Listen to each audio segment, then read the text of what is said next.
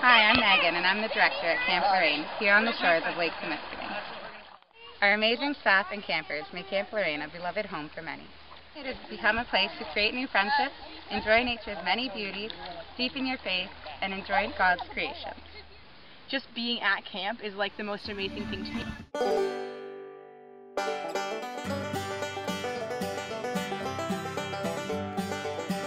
Well, I've been coming here for five years. I've worked here for three.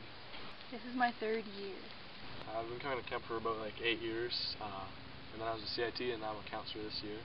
I started coming here about 10 or 11 years ago. I was a camper for a long time, and then I was a counselor in training for two years, and this is my second year, year working here. This is my first year at camp, actually, and I've never been to camp before, and I love it here.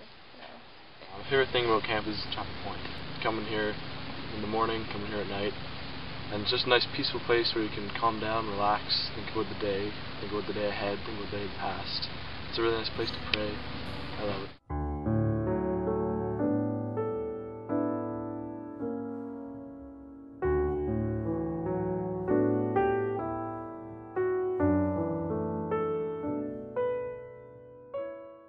Camp Lorrain is supported by the Mission and Service Fund.